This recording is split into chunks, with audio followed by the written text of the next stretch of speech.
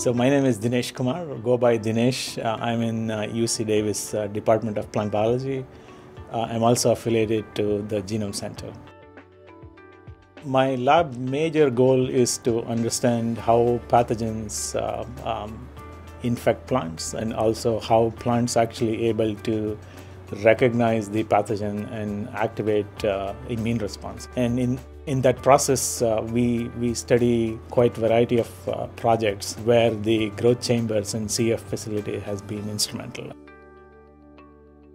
There are three specific plants we work with. One is Arabidopsis as a model system, which uh, many plant scientists works on. We also use uh, tomato and also the Nicotiana, which is tobacco. So these are some of the plants we use, and the pathogens we use are uh, the viral pathogens like tobacco mosaic virus as a model system we use quite a bit.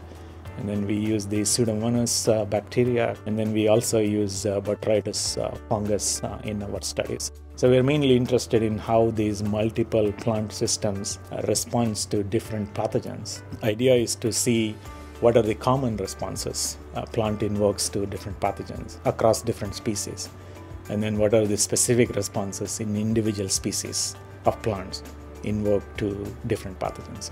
So one example is uh, the immune receptor we work on uh, in tobacco when we put it into Arabidopsis does not does not work. So the idea there is to understand why when we put from tobacco to Arabidopsis it doesn't work, uh, even though both are plants. So there are some fundamental difference between what's present in Arabidopsis versus what's present in tobacco. So that's why these different plant systems and different pathogens help us to understand uh, the common processes and also very specific processes. So our idea is to better understand the process from the plant point of view. So then maybe we can better engineer plants to cope with the diseases so that we don't have to use these uh, harmful uh, chemicals. From the basic point of view, it so happens that the the plant immune receptor seemed to be similar to the human immune receptors. So when we first cloned a a first plant immune receptor when I was a postdoc at Berkeley.